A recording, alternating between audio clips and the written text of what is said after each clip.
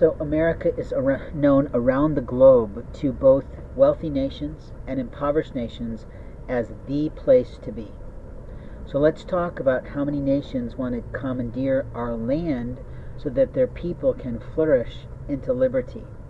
Let's talk about how people want to crash America and that children of Indian lands, children of Asian countries, have been trained, I don't believe Japanese, to know how to run the Korean phones and computers that we import to America.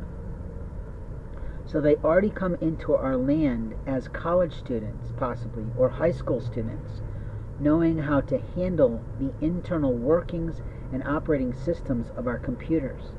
But our college students and our junior high students and our high school students only get that in an elective class. So we've already failed America that could impact us for the next 10 years. The liars of America is we are America and nobody can touch us, and that's not true. The liars in America are white men, black men, Muslim men, Mexican men, and all kinds of girls who like to hack life from me and from you. They might be getting smarter about it because they hide more in the shadows with it, but the truth is that they are here to steal America.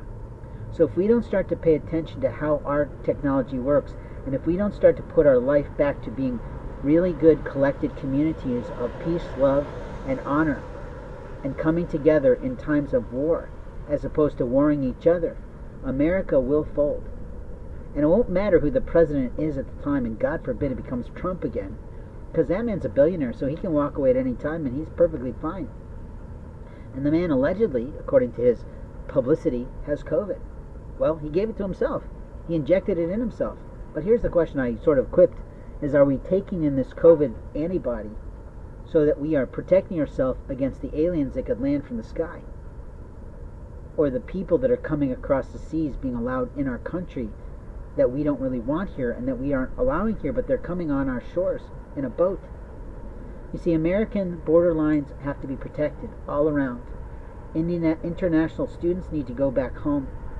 International companies have to be well sanctioned, and frankly, technology companies have to be reviewed. What is the mentality and the mission of those companies? Who's in charge of those organizations? What sort of technology are they bringing here? And I promise, I bought this body alarm thing from a girl who was promoting it, and that body alarm didn't work. And I spent $40 on one of these software programs.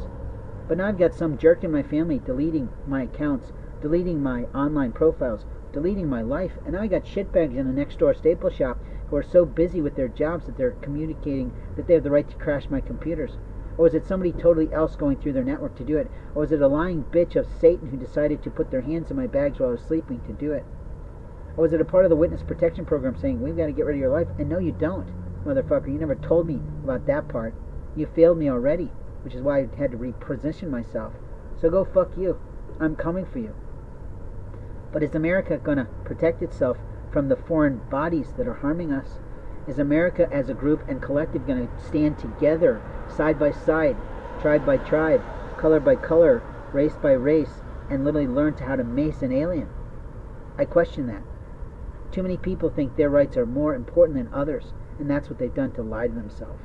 You have lied to yourself about your rights in my life. You've lied to yourself about your rights in other people's life. You have lied to yourself about your right to tell me that I don't know, get to know where my mother is being contained or if she's even alive. She's probably dead today already. And everything I've been told by siblings is contrived. But no, wow, not one of you had the right to get into my cell phone and ruin it. Not one of you had the right to take the back off my phone and take the battery out. Not one of you had the right to do this. So who did that? And if they're American policemen, then they go to the yard. And that's the truth. You violated American laws, you violated the rules of your job, and you don't belong here in America. America is not a hobby, people. America Inc. is what thrives across the world. America Inc. and our borders keep your little motherfucking black ass safe. What I mean is your black bastard ass of Satan, not your color of your tribe. Your heart is dark and you play in the shadows. America is about light and the light of the Lord. If you haven't figured that out yet because you're stupid and you're immature and you think that having a job is a hobby because you're only in 20 hours a week, that's on your life. But a man like me chose to make his life working smarter, not harder. Not to swipe somebody's actual tagline from their company. But it's a great philosophy. Work smarter, not harder. It doesn't mean steal from people. and be unreal.